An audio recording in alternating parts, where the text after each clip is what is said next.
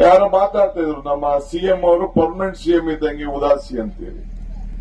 ಬರೀ ಖಾಲಿ ಮಾತಾಡಿದ್ರು ಸುಖ ಅಲ್ಲ.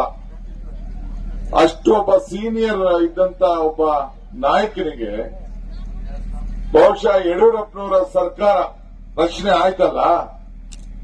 ಆ ರಚನೆ ಆದಾಗ ಯಾಕೆ ಮಂತ್ರಿ ಮಾಡಲಿಲ್ಲ ಅನ್ನೋದನ್ನ ಯಾರಿದಕ್ಕೆ ಉತ್ತರ ಹೇಳಬೇಕು ಅನ್ನೋದನ್ನ ಈ ಸಂದರ್ಭದಲ್ಲಿ ಬಸವರಾಜ ಬೊಮ್ಮಾಯಿ ಅವರಿಗೆ ಕೇಳಲಿಕ್ಕೆ ನಾನು ಬಯಸ್ತಾ ಇದ್ದೇನೆ.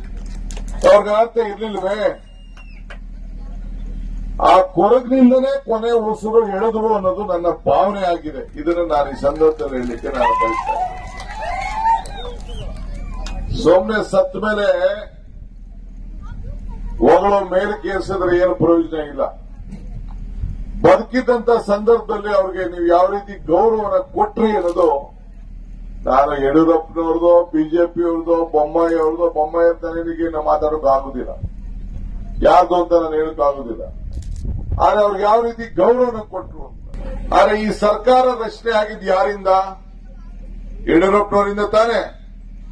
ಆಪರೇಷನ್ ಲೋಟಸ್ ಮಾಡಿ ನಮ್ಮಲ್ಲಿರೋರ್ನ, ದಳದಲ್ಲಿರೋರ್ನ ಕರ್ಕೊಂಡು ನೀವು ಈ ಸರ್ಕಾರ, ಬಿಜೆಪಿ ಸರ್ಕಾರ ಅಸ್ತಿತ್ವಕ್ಕೆ ಬರಕ್ಕೆ ಕಾರಣ ತಾನೆ. ಯಡಿಯೂರಪ್ಪನವರು ನಾಲ್ಕು ಬಾರಿ ಮುಖ್ಯಮಂತ್ರಿ, ನಮ್ಮ ರಾಜ್ಯದ ನಾಯಕರು, ದಕ್ಷಿಣ ಭಾರತದಲ್ಲಿ ಬಿಜೆಪಿಯ ಹೆಬ್ಬಾಗಲನ್ನ ತರದಂತ ನಾಯಕರು ಅಂತ ಹೇಳಿದ್ರಲ್ಲ, ಅವ್ರಿಗೆ ಯಾವ ಸಮುದ್ರಕ್ಕೆ ಹಾಕಿದ್ರಿ, ಯಾವ ಒಳೆಗೆ ಹಾಕಿದ್ರಿ, ಯಾವ ಬಾವಿಗೆ ಹಾಕಿದ್ರಿ?